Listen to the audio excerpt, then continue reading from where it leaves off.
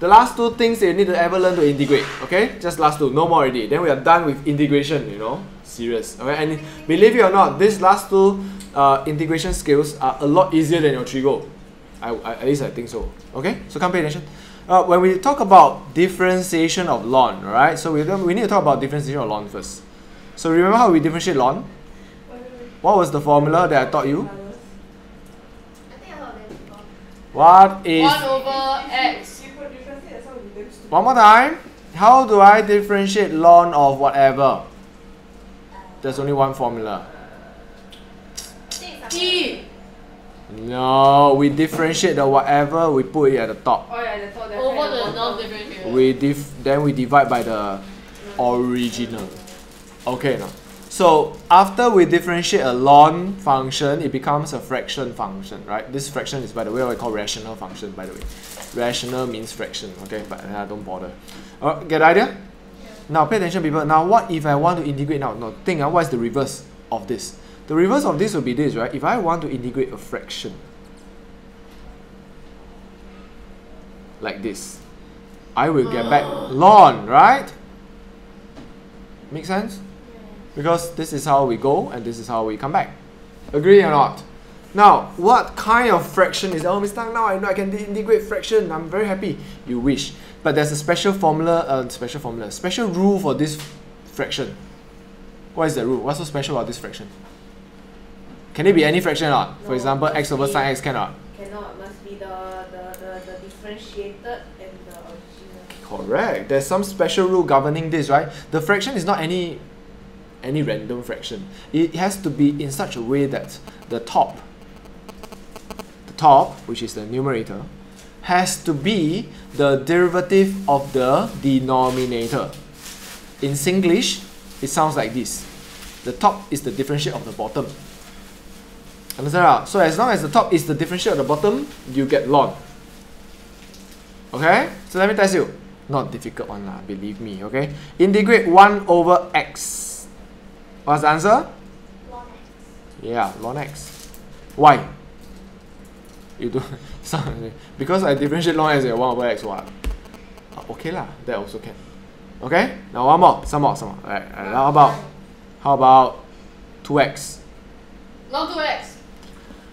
What nonsense? Wait lah, I haven't finished. Okay, 2x plus 1. You not. So this is a fraction? No, ln Ln what? x squared plus x plus 1. Ah, ln the denominator, right? Agree or not? So every time just copy the numerator. You wish. Where got so easy? But pay attention first. Huh? The idea is this, right? The idea is that as long as the top is the derivative of the bottom, we get, we can integrate it. Agree or not? Yeah. For example, what can't we do? What can't we do? We can't do this. We can't do this. Yo. I will be probably stuck. Can we integrate this? How we know we can't? Because the top is not the thingy of the bottom. Yeah, the top is not the derivative of the bottom. Agree? ah? So it's not every single fraction you can do that, no? So only a special kind of fraction. That's why I asked you, you know, do you know what kind of fraction? So so very good, you are able to pick up what is the rule. The rule is that the top has to be the derivative of bottom. But sometimes life is not so simple, right? So sometimes they give you these. Oh my gosh, my teacher says that. This is really old. Life is not so simple, right? That's why we have to use this. Yeah. Then she tells us. And we're like, okay. Look like Mrs. Xu. Look like Mrs. Xu. I don't like the fact that you say that your teacher is really old. Okay, anyway, so how about this? Pay attention. Mr. Wait, this means it. that you have the, the, ma- the maturity of older than, than 36 years old. Stop it, ah. Okay, how do we do this? Eh, the top is half of the. Oh yeah, we have a problem now, right? Because when we differentiate the bottom, what do we get? 2x plus 2. Is it 2x plus 2 at the top? Nope. Ugh. So what do we do? But you notice that, eh? Yeah, if I times 2, I solve my problem. I get 2x plus 2, right? But can you times 2 like that? Times two, then you divide by two. Very good. So times 2, you divide by 2 outside, okay, right? Understand? So what happened next? you have half, the half remain. Now the top is the derivative of the bottom, it becomes ln, ln what? Ln this. square plus 2x plus 4. Yes. Understand not? So sometimes you need to do a little bit of manipulation. Manipulation. Yes. Okay? Now, you also found out that eh, after you learn this, right, suddenly you can integrate tangent. You see, so far we can integrate sine, we can integrate cosine, we can integrate tangent square, we can integrate What? secant Okay. square, we can integrate sine square, cos square, right? But we never talk about integrate tangent. Cotangent is the side of But now we can. Why? Why? Because because why?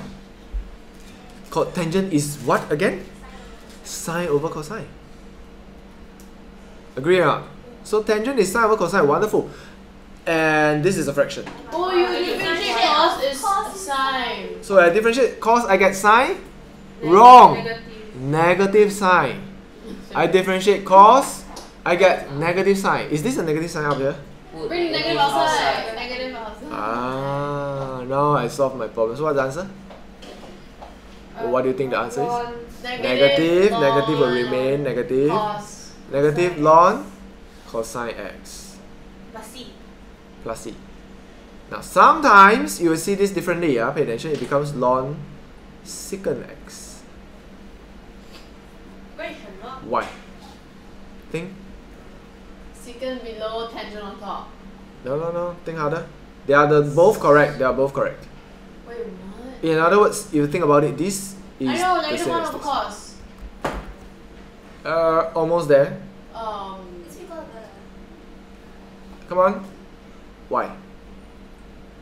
But you notice something that's more striking, and that's the nine minus no more, right? The negative no more. So what do you think happened to the negative? Times. The negative bring up. Because it's a ln after all, you can bring up the power, right? So when you bring it up, it becomes cosine power minus 1. so it's one, 1 over cos. cos. 1 over cos is Secant. secant. mind. Understand or don't understand? Mm. Very difficult or not? Not really. But if you answer this way, fine? Yes, absolutely fine. Unbelievable, You just yes. disappeared and come back. How about this? I managed to forget one song, but you made me. How about this? Now, cotangent, you can do it too. Come on, people, we try. One over Cos over sine. Cos over sine, very good. Cos over cos over sine. Okay, good. And what do you think it becomes? Ln sine x Ln sine x plus C. plus c.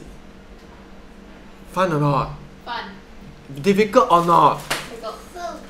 It's not super difficult, but it's something that uh, important, yes, because it suddenly opens a lot of options for you, right? You can do a lot of funny things suddenly. Okay? And of course, one of the applications that you have to learn is partial fractions. Okay? Because my because in times to come, uh, in fact, we're going to do this. Why not? We do this now, okay? Uh, in times to come, which is what I want to do, right? I- let's say you want to integrate something like this.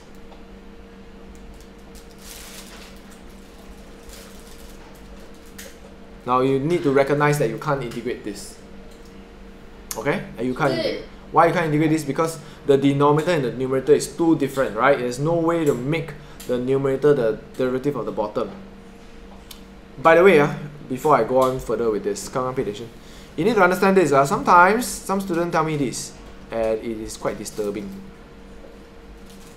Oh, Mr. Ang, I know. I want to make the top to be the derivative of bottom, right? So when I differentiate bottom, what do I get? 2x. I know. I times 1 over 2x outside, I times the 2x to the top, and I get this. Then now this becomes integratable. I can do it. This is wrong. Why? Very good, very observant. You cannot have a constant. A pui, pui. You cannot have a variable. You can only multiply constant divide by constant. Understand? You cannot multiply by x and then divide by x. Cannot do that. Ah. Okay? So this is no no. Cannot be done this way. Okay? Yeah. The other thing that you must you must get used to is this also, right? Sometimes, in fact, most of the time you're gonna see things like that. How are we gonna integrate this? Times five outside. Very good. No, times 5 on the inside times one fifth on the outside. Understand? So there's a one fifth, and then there's a 5. And that's how you you can integrate this, which, which becomes I, I 1 don't get. I don't know how to get the outside number. It's like what uh ayo, sorry. It's like what Manwei says earlier on. You multiply by five to the top, multiply by five to the bottom. Oh, okay. Then the the one to the bottom you take out. Okay. Yeah, that's all. Okay? Uh, because if you want to keep it at the bottom also can lah, but it looks awful, right? It doesn't look like the form that you want anymore. So I think an easier way would be to think about it this way. I multiply and I divide. I'm doing nonsense. It's just like 10 is equal to 9 plus uh, 1 plus 1 minus 1. This is, this is lame, right? Yeah. right? Yeah, so this is precisely what you're doing uh, in, a, in a way, right? Times something divided by something. Okay? Can? So, so the other thing that I never show you is this kind, which is partial fractions. So I want you to do, because, you know, we're going to do it with faith, right? So, uh, it, eventually after you do your partial fractions, it's going to look like this.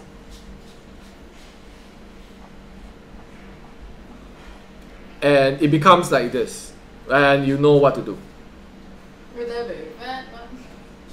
Huh? Nothing. Okay? Can or cannot? Right, wonderful. So we shall do this now.